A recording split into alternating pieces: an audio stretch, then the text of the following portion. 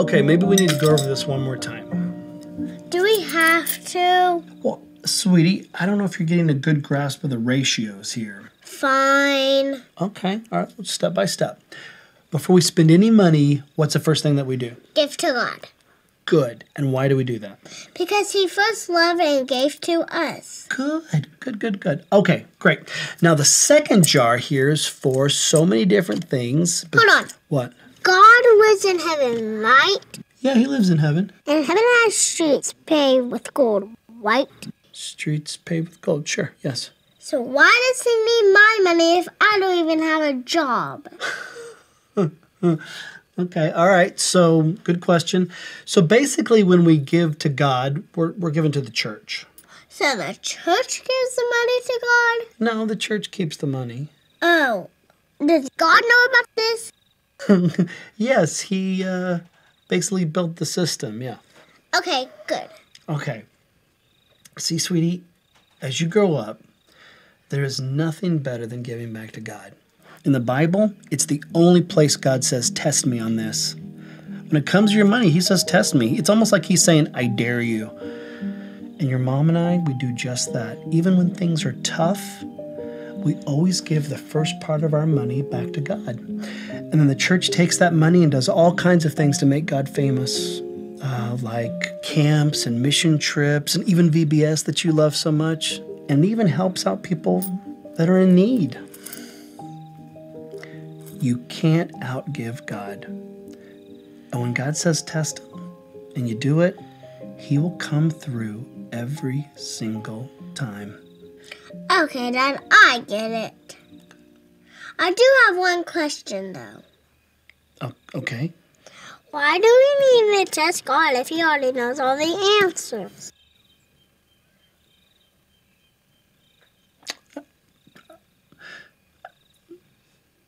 That's that's good.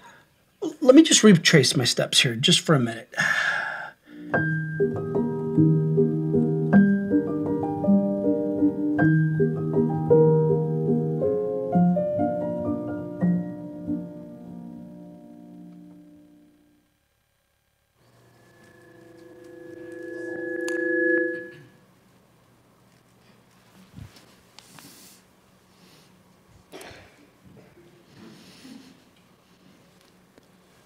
That was not necessarily connected with the parking lot, but it's connected with the parking lot anyway.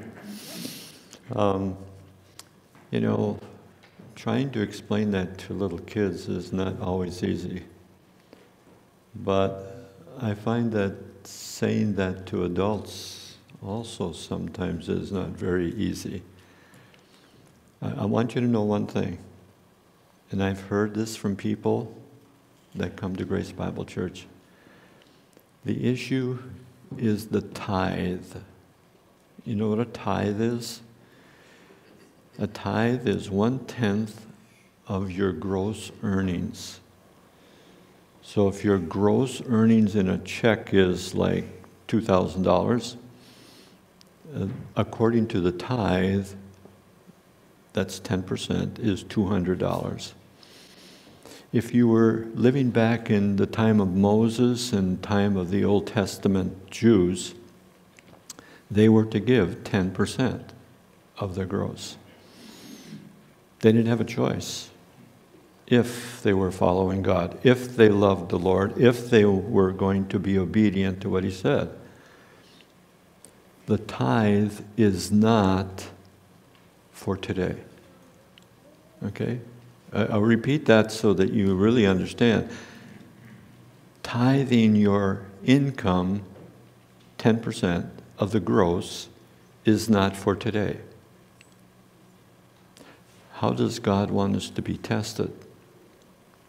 The testing comes is that He wants us to look at our finances, and the first thing you do is take what you believe to be a weekly or a monthly gift to God. give to the church, give to other mission organizations, whatever. But that's something you have to make a choice about. You have to decide in your heart. The test comes is when at the beginning of the year, like my wife and I do, we sit down and we say, This is what we're going to be giving. That when tough times come, unexpected bills, unexpected things come in our life, how do we deal with that?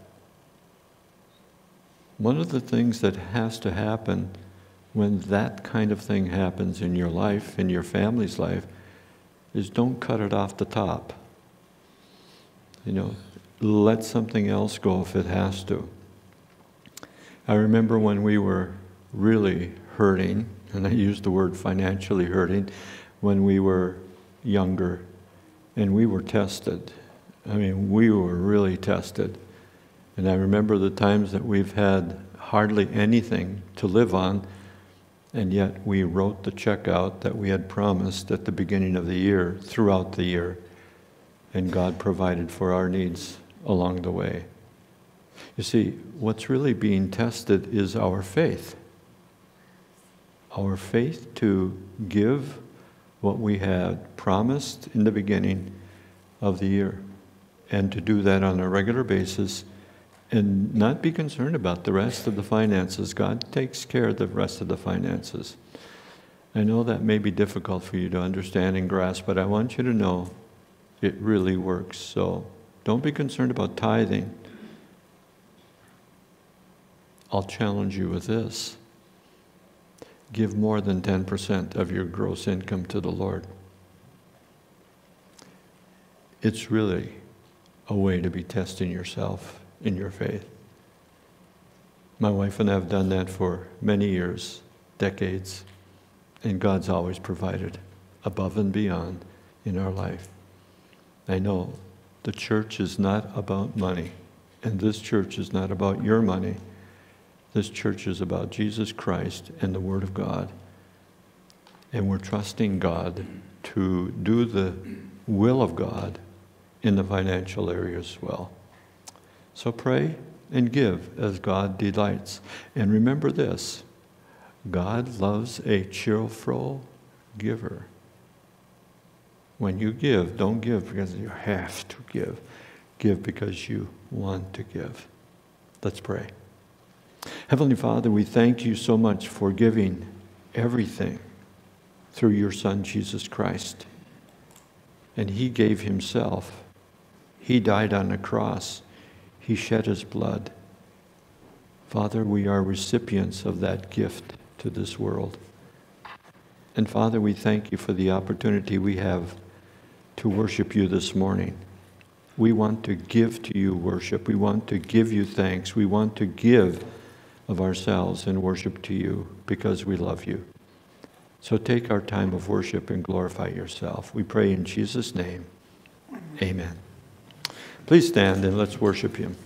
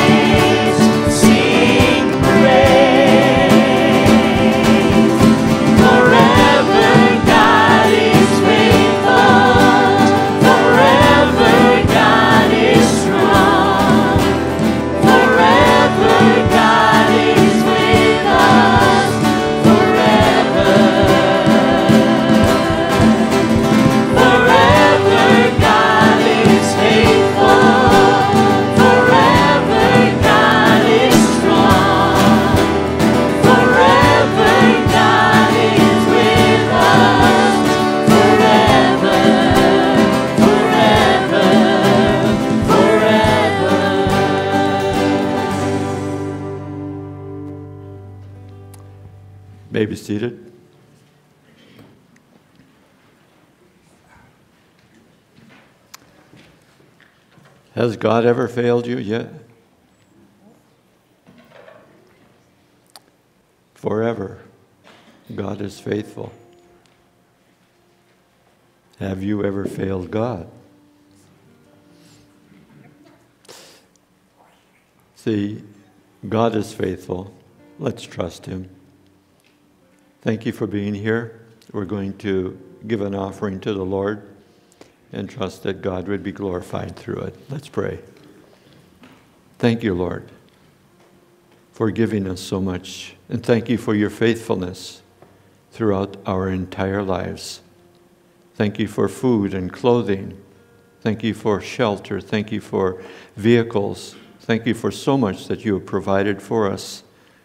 Father, we give back to you a portion of what we've received and may you be exalted and glorified. We pray in Jesus' name with thanksgiving. Amen.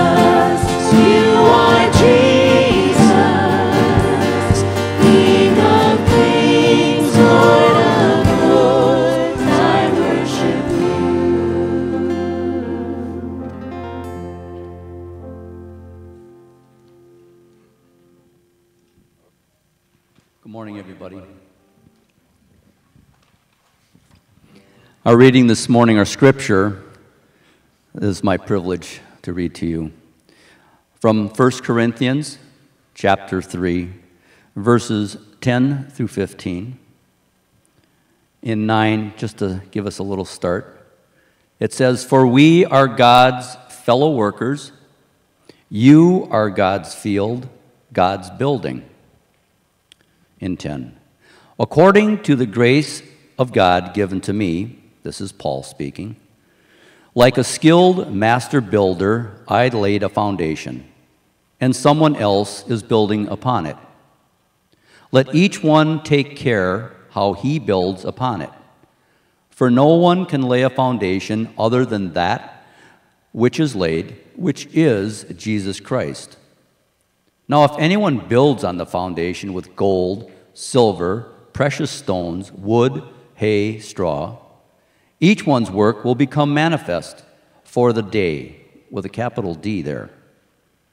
We'll disclose it, because it will be revealed by fire. And the fire will test what sort of work each one has done. If the work that anyone has built on the foundation survives, he will receive a reward. If anyone's work is burned up, he will suffer loss, though he himself will be saved but only as through fire. I see a, quite a few gentlemen out here, and I'm sure some ladies, that have built something. It may not have been a building, it might have been a cake. A cake has to have a good foundation for it to hold the frosting, if you will, and a foundation needs to be solid to build a building. Without that solid foundation, it will crumble, it will lean, it will fall over. So is our lives.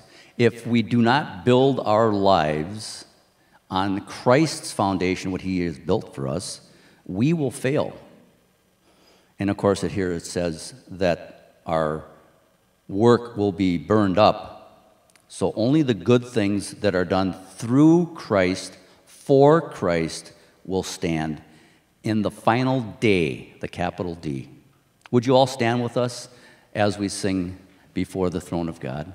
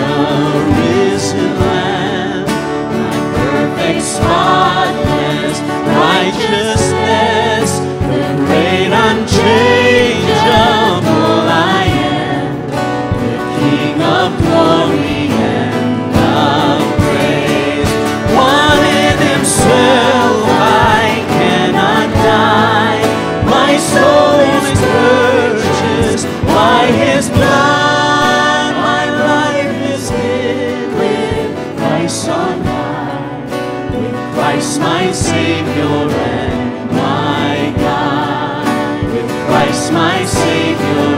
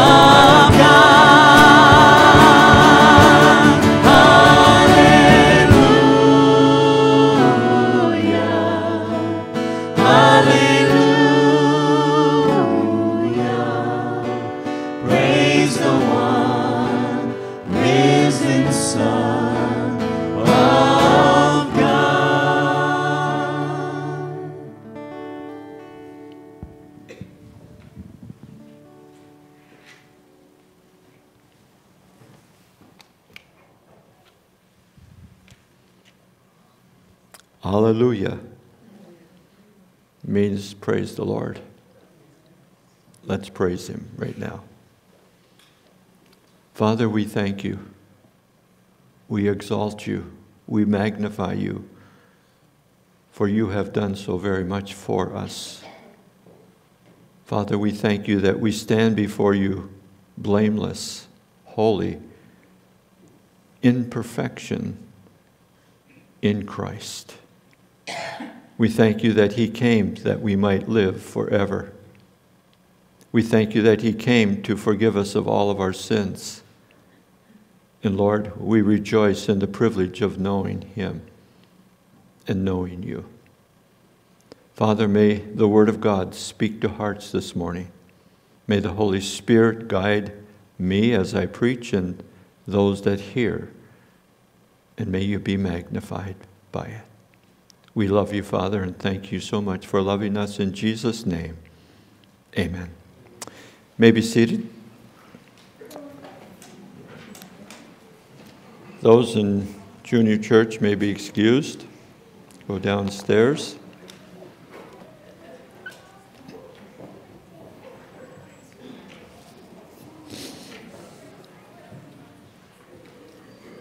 I want you to look for and find the book of Ezekiel. We're going to be looking at that, but uh, also looking at Luke chapter 3.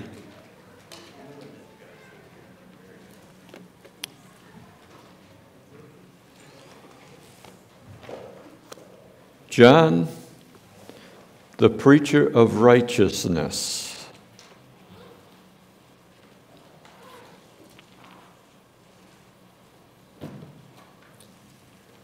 The Line of Fire had an article in this particular book. How compromise preaching in contributing to our cultural rot? Interesting title. This was a Dr. Michael Brown has a article out of Torchbearers.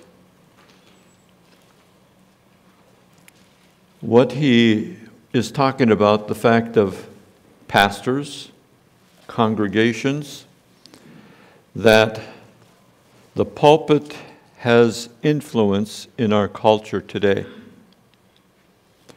He is going to be quoting here, and I'm going to quote that particular portion.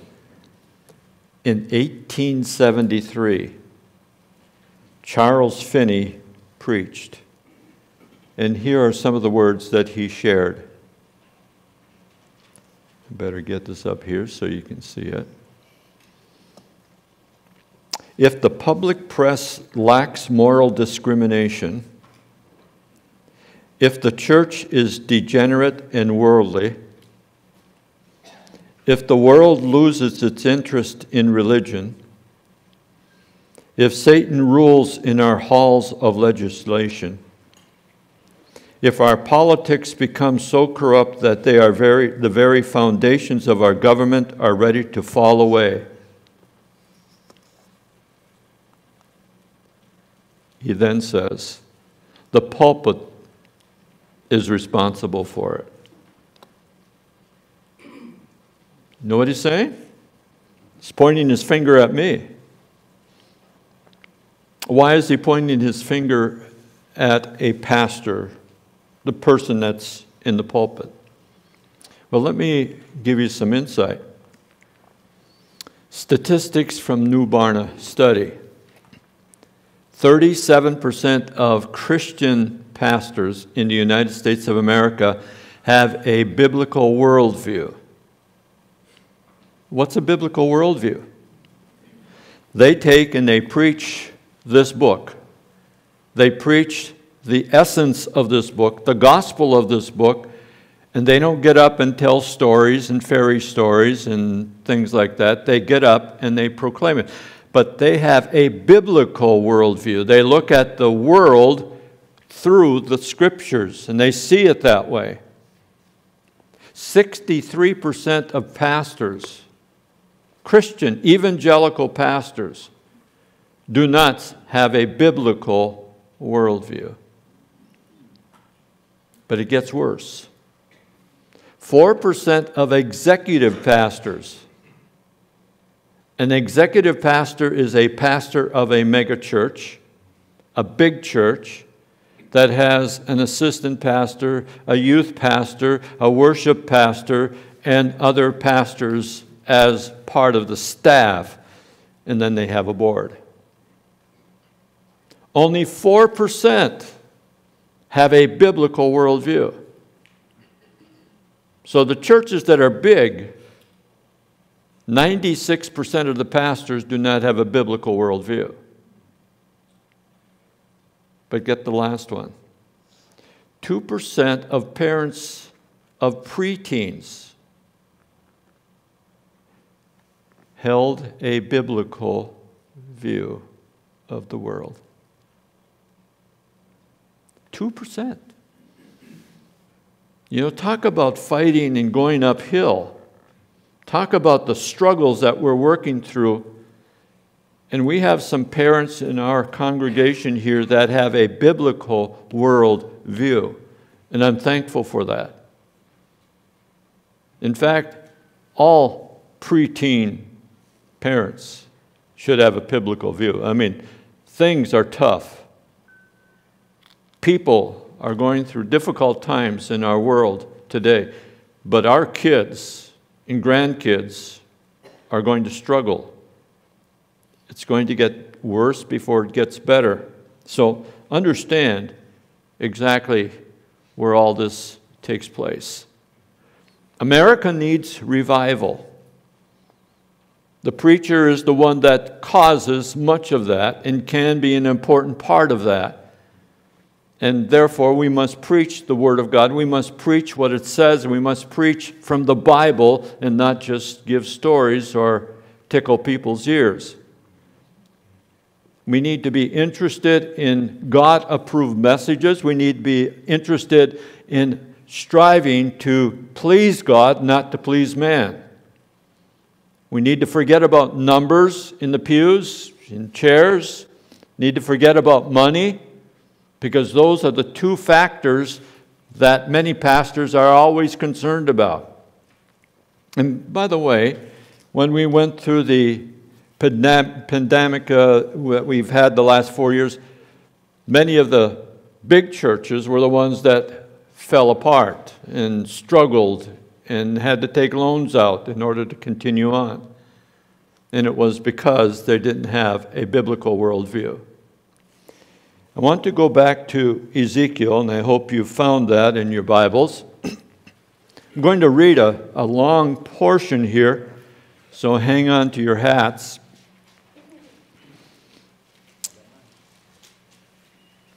He's writing through Ezekiel and we're going to start with verse 24, but I want to start with 23 with just a few words. And the word of the Lord came to me, Ezekiel Son of man, say to her, Who is the her? Israel. It's a nation, supposed to be a godly nation. Listen to what is said. You are a land that is not cleansed or rained upon in the day of indignation. The conspiracy of her prophets in her midst is like a roaring lion tearing the prey. They have devoured human lives. They have taken treasure and precious things. They have made many widows in her midst. Now, we just talked here in this particular area of the prophets. These are the prophets. They're the ones that need to come along and express and preach the Word of God. This is what they did. Verse 26 is the priests, those that were supposed to be religious and godly. Her priests have done violence to my law and have profaned my holy things. They have made no distinction between holy and the common. Neither have they taught the difference between the clean and the unclean. And they have disregarded my Sabbaths, so that I am profaned among them. The priests were the, supposed to be the ones, they're, they're really probably the pastors, And they're the ones that were supposed to be taking and making sure that the Israelites were doing exactly what they needed to be doing according to God's way and according to God's word. But they didn't do it. They blended the world, they blended everything together with their religion. And God was not pleased. Verse 27 here are the princes or the leaders of the country and in her midst are like wolves, tearing the prey, shedding blood, destroying lives to get dishonest gain. And her prophets have smeared whitewash for them, seeing false visions and divining lies for them, saying, Thus says the Lord, when the Lord never spoke to them in the beginning. This is what's happened in our nation. I mean, if there's a, a, a good list here, this is it. Verse 29 says, And the people of the land have practiced extortion and committed robbery. They have opposed, oh, excuse me, oppressed the poor and needy and have extorted the sojourner without justice. So, this is the state of Israel right now, as Ezekiel writes. This is a sad predicament.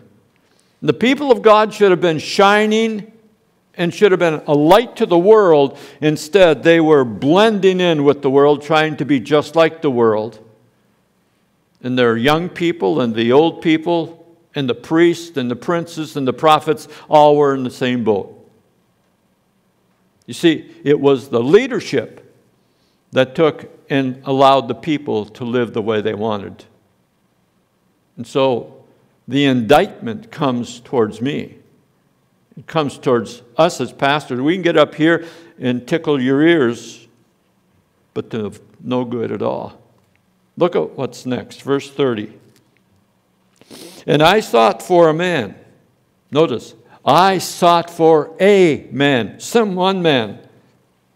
Among them who should build up the wall, stand in the breach before me for the land, that I should not destroy it He's looking, looking throughout all Jerusalem, looking for all of Israel, looking for a man. Notice the end of that. But I found none.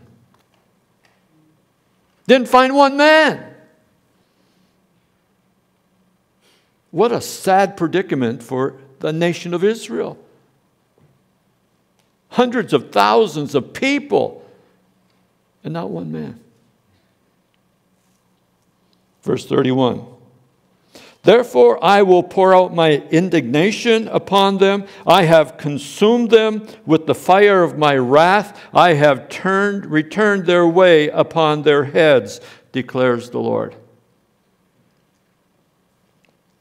That's what's going to happen to Israel. And you know that it did because God's word is complete. Understand that God doesn't mess around. And when we come to this point in this message, we're going to be faced with a man by the name of John the Baptist and what happens with him. We're going to be turning over to Luke in just a moment. John issued two proclamations about the need for the Jews to show their genuine repentance. And the reason for it is because the Jews at, in John's age, in Jesus' age, in Paul's age, were corrupt. The leadership was horrible. And you're going to find as we walk through the books of Matthew, Mark, Luke, and John that Jesus had to reprove, rebuke, and he said some strong things as he walked along. John the Baptist is coming before him. And we've already talked about that. He was the one that was to prepare the way. He's the one that wants to take and, and make things right. But he's fighting a whole nation of people that are reprobates, that are sinning, that are doing their own things. This message is for America. This message is for those that need to understand That our God is not just sitting back and enjoying himself and watching America go down the tubes morally and spiritually. And he sees many Christians that are going in the same direction because they have chosen to simply avoid God. Regretfully, they just pushed him aside and they're living their own lives for themselves. That happens to many, many people, even believers in Jesus Christ. So let's look at those two proclamations. The first one we find in the book of Luke is the need to bear fruit. God is looking at people's lives. He's looking at your life, He's looking at my life, and He's deciding as you live out your life whether you are bearing fruit to the glory of God or whether you're just living for yourself and whatever you can get out of life. You see, we're no different in America than where John was in his day and age. The need to bear spiritual fruit for the Lord. Let's look at verse 7. He said, therefore, to the crowds that came out to be baptized by him, John, You brood of vipers, who warned you to flee from the wrath to come? He's talking to the people. Not talking to the Pharisees, the Sadducees, the scribes, the big leaders. He's talking to the average person. He says, You brood of vipers.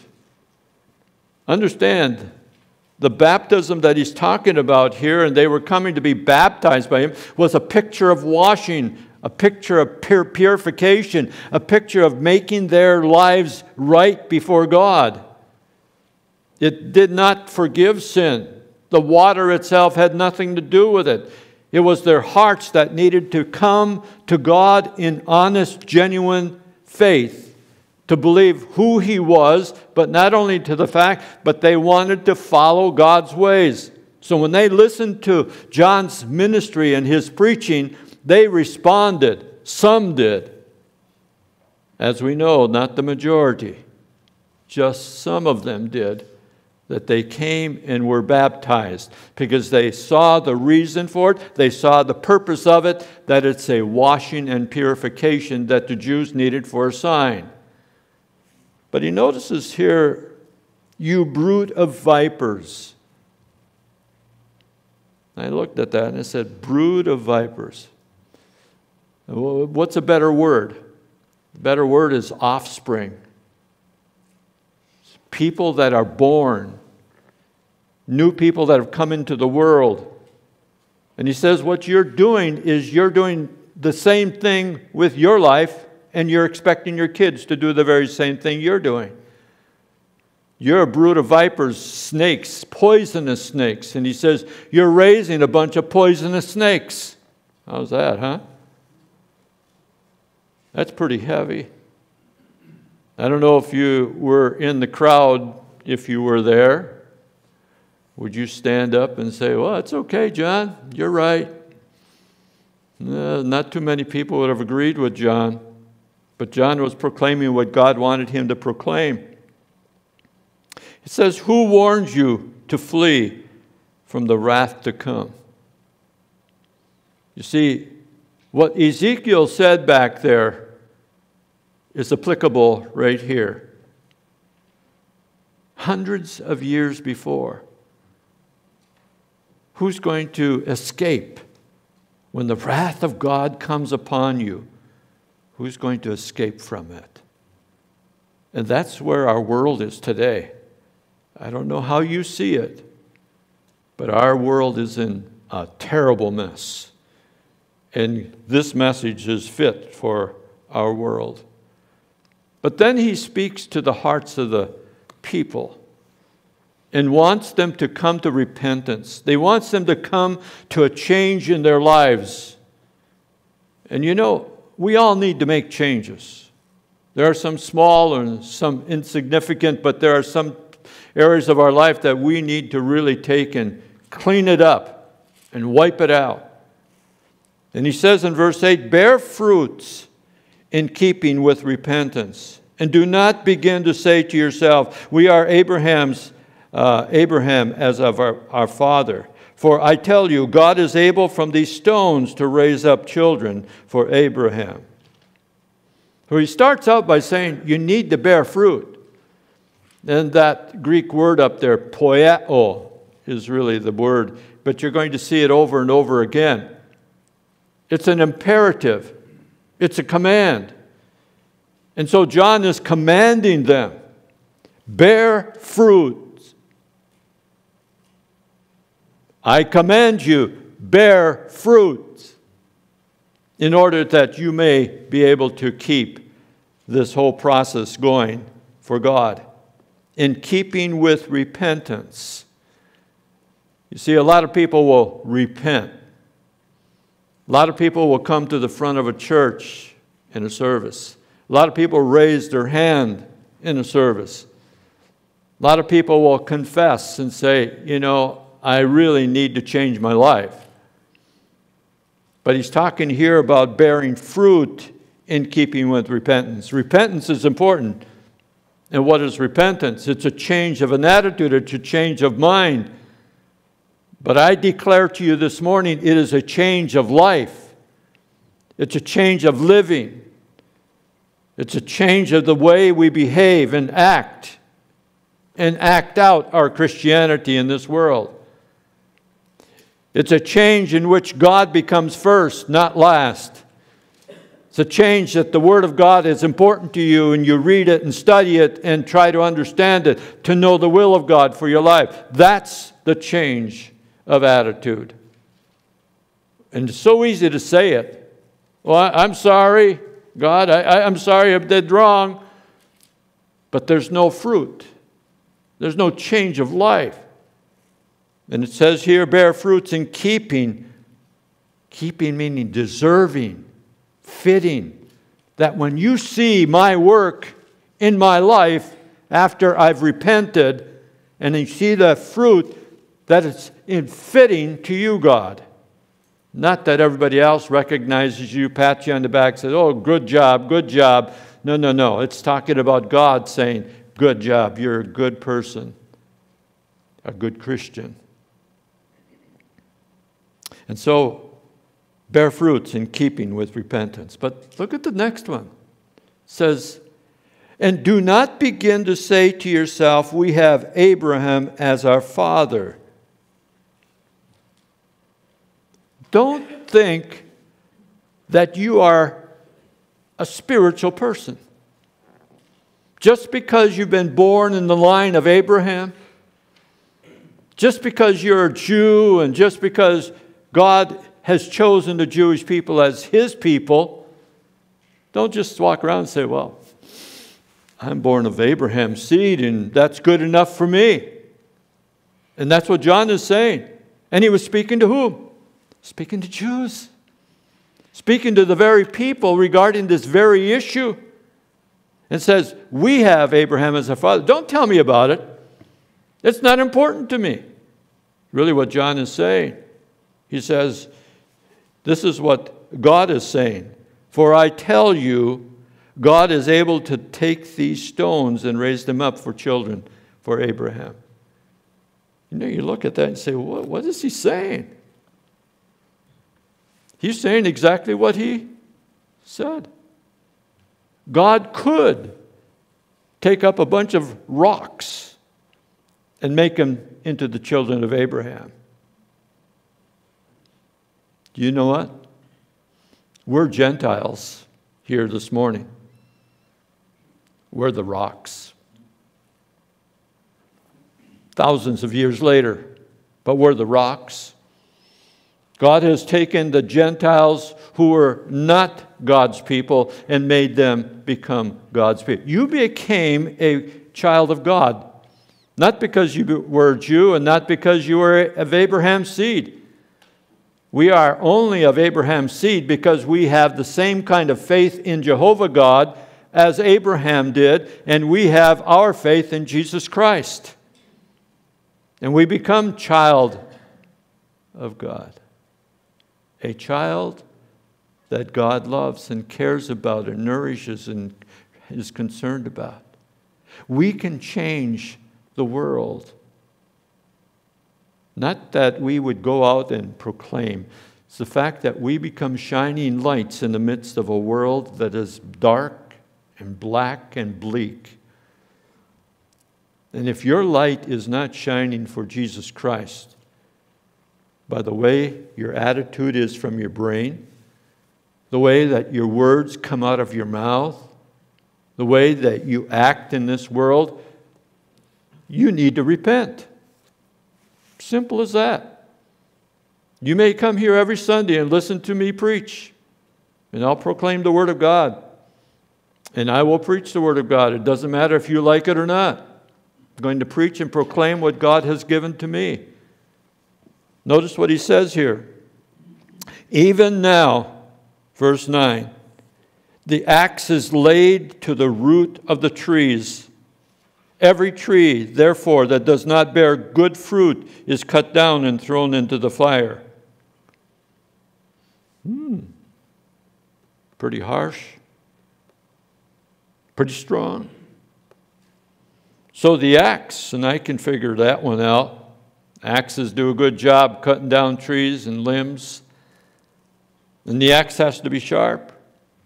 This is laid and placed at the root, not placed on the side of the tree in order to fall the tree.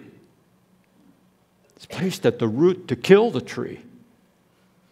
It's talking about individuals' lives that are dead. And notice what he says here. Even now the axe is laid to the root of the trees, and every tree, therefore, that does not bear good fruit good fruit, acceptable, fine fruit that God is pleased with, is thrown, sudden force of tossed into the fire, into the pure, P U R, a Greek word which means a heap of burning material, a bonfire, a place where we put paper, cardboard, sticks, branches, and wood to burn. Even now, the axe is laid. Even now, the root of the tree is ready to be chopped and sliced. So there's no sustenance going to the tree. And the tree dies.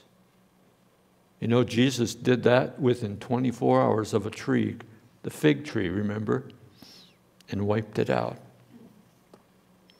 George Anderson was from a small town in Oklahoma. He made a story for the newspapers, but it wasn't the fact that he was converted, the, the fact that he trusted Jesus Christ as his Savior and became a Christian, but it was a part of his life and the change that came into the community. For he went to the police department and he confessed a sin that he had participated in a bank robbery years and years ago.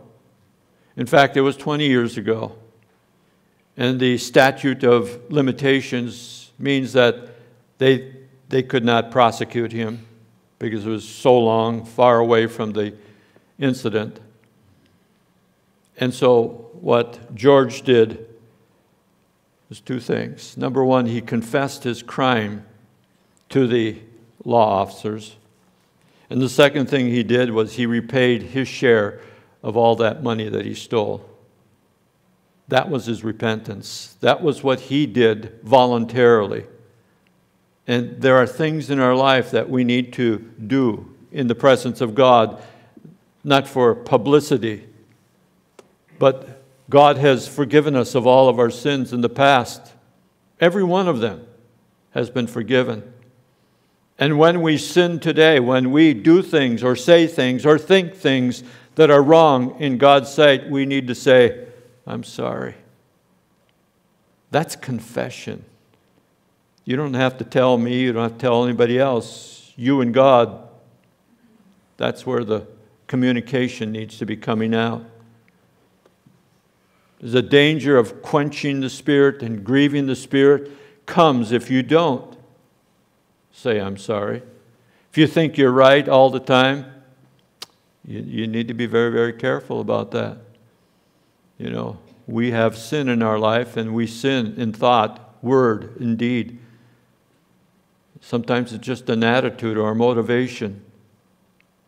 And when it's all said and done, we need to be saying, Thank you, Lord, for your forgiveness. I know you will notice one thing in this list up here on the screen. Very carefully. There is no need to beg God for forgiveness because it's already happened. The blood of Jesus Christ, God's Son, has what? Cleansed you of all your sin. And the blood of Jesus Christ is going to continue to cleanse your sin as a Christian the rest of your life. The issue is we need to get right with God. And that's what this repentance is all about in our lives, no matter how small or how large the sin may be in our lives. Well, let's look at the second proclamation that comes in verses 10 following the specific ways to show repentance. And what happened was there were men that would come up or, or people that would come up to John and says, what do I have to do? You know, sometimes it doesn't take a rocket scientist to figure that out, but uh, sometimes they just don't have the ability to understand what does God want in my life. And you may be in that same boat. Say, well, what does God really want from me? So maybe you can identify with some of these here. The average Jew, and this is verses 10 and 11, the crowds asked him, What then should we do? He answered them, Whoever has two tunics is to share with him who has none, and whoever has food is to do likewise. You'll see the word up there, poieo, work. That's what you should do. That's what you should do. It doesn't necessarily mean that you will do it. And so he's talking here about tunics, the outer part of our garments, of any kind of clothing that we have and, and give to the poor. And, you know, we don't live in a real poor district of Milwaukee land, but there are people that walk around and, and are needing food, clothing. And this is what he is saying I command you, I want you to do this. This is an imperative. And this is not a request of saying, well, maybe if you got time or if you got the money or if you can possibly do it, do it. If you find someone that is in need, do it. And I want to say thank you again for those of you that were involved in the funeral this last Friday. How that you came to the plate and within a short time able to provide the food for the uh, Wanta family. And uh, I, I just thank God for you and how much God has ministered through you uh, through that time. Verse 12 is talking about tax collectors. Verse 12 says, Tax collectors also came to him to be baptized and says, Teacher, what shall we do? You, you need to understand, they're asking the question before they get water baptized. But they've come to him and said, You know, I'd like to be water baptized. I want to be purified. I want to be cleansed. I want to be washed. But what, we, what do we need to do? And the tax collectors were told by John, and he said to them in verse 13, Collect no more than you are authorized to do. You know, you, you've been uh, given a job, you carry out the job, in this particular case, collecting money for taxes. He says, Do your job, perform that job. But then he says, Make sure you don't take any more, don't ask any more, don't uh, collect any more than what you've been authorized to collect. Only what's been given orders for you to collect, only collect that much money. I'm sure that I've never been a tax collector, so I don't know about it, but I'm sure there must be a temptation to want to collect a little more, put it in my pocket rather than the government's pocket.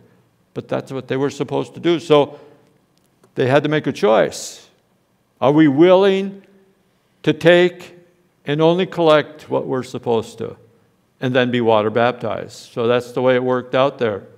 Then some soldiers came up in verse 14 and also asked him, What shall we do?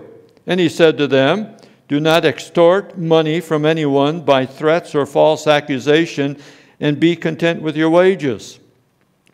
I would say probably that the soldiers weren't really highly paid.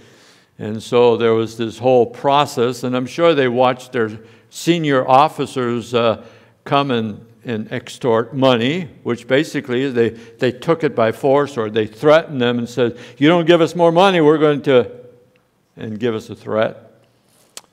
And John says, This is what you do. You, you don't do it that way. You don't do it the way you've seen it or have seen it done. And again, notice what he says here at the end be content with your wages the way they are. Imperative means a what? A command. Oh, yeah, I was just wondering if you were awake there. A command. He commands them to be content.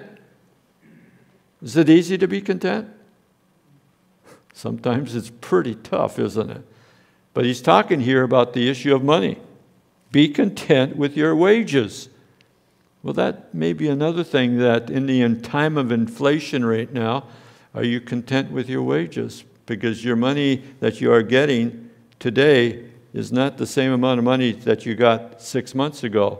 That's how the inflation is taken and eaten away at our dollars as we try to spend them wisely. So they were to be content with their wages. And then John's final warning, starting with verse 15. As the people were in expectation, all were questioning in their hearts concerning John whether he might be the Christ. And it's interesting, this word for expectation is not looking forward with great anticipation. In fact, it's looking forward with apprehension. And you don't know what the word apprehension means. It means with anxiety, with fear, with worry, with concern of impending danger or trouble, which is an interesting uh, response here. But the people were expecting. Why, why do you think they were worried? Why were they fearful and anxious? I mean, if the Christ was to come, wasn't it a good thing? The reason is because when Christ was to come, he was to come with an anger, with a fear that would come upon the people of this world. And in the Great Tribulation, that's exactly the way it was. They were concerned about Jesus Christ coming, but they saw the negative again. They saw what God was going to do through Jesus Christ when he did come. The anticipation was not for expectation, but for apprehension. Verse 16 John answered them all, saying, I baptize you with water, but he who is mightier than I is coming, in the strap of whose sandals I'm not worthy to untie. He will baptize you with the Holy Spirit and with fire. So, the issue here that we have is the baptism with water. And of course, the issue is why, why is John doing the baptizing, pondering and wondering. But John is saying, I'm baptizing you with water for this time of purification and cleansing. But he says, There's somebody mightier than me, there's someone bigger than me that's coming along. I'm, he's coming after me, but he'll be here. And when he comes, you're going to have to face him. Really means that it's an implication that it's a process. And God gave that process in the Old Testament that John would come, he would present Jesus Christ to them and, and say he's coming, and then later the Lord Jesus Christ is going to have his own ministry and, of course, and proclaim himself to the Jewish world. Then he says here, if you look at the end of the verse, it says here that uh, he who is mightier than I am coming, the strap of whose sandals I'm not worthy to untie, and he will baptize you with the Holy Spirit and fire. Fire is a purification. Yes, destruction, but it's a purification. It's that way that Jesus is going to come. When Jesus leaves this earth in Acts chapter 1. And the Holy Spirit comes in Acts chapter 2. You find that he came with cloven fire on their heads. Again, the whole aspect of a sign for the Jews related to what John is talking about here this matter of taking and being purifying, a cleansing, if you would have it. In verse 17, his winnowing fork is in his hand. A winnowing fork is in his hand. A fork that separates the chaff from the grain. And they have it on a, a large floor. And the wind would blow, and they would take the fork and they would dig it into the wheat or the barley. They'd throw it up in the air. And the wind would come along and would blow away the chaff and the straw and it would allow the grain to come on down. And they would do this for hour after hour. And Jesus Christ, the, the, the one that is yet to come, is going to come and separate the chaff from the grain. We're Going to separate the saved from the unsaved, if we want to say it that way. Notice what it says here. He's going to clear his threshing floor and to gather the wheat into the barn going to take and gather the wheat and he's going to put it in the storehouse in order for it to be stored so that they can use it for, of course, food for the cattle. The, the chaff is really the husks of the grain. And I trust you understand that eating the husk doesn't give you anything. There's no nutrition in the husks. So you like to get to that soft part of the grain of a oat or wheat or barley. And then he says here, going to gather them into his barn. But notice what happens to the chaff. The chaff he will burn with the unquenchable fire.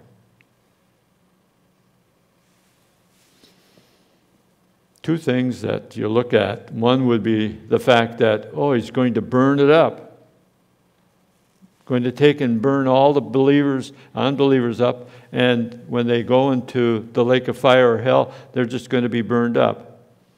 But notice what the next word says unquenchable. A fire that cannot be put out. The fire will continue to burn. That judgment by God is going to be permanent. You know, living through this life is not simply taking and living it out and enjoying it and, and going on from here.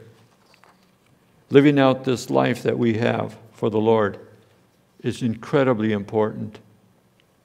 And to make decisions right now in your life and mine is truly important.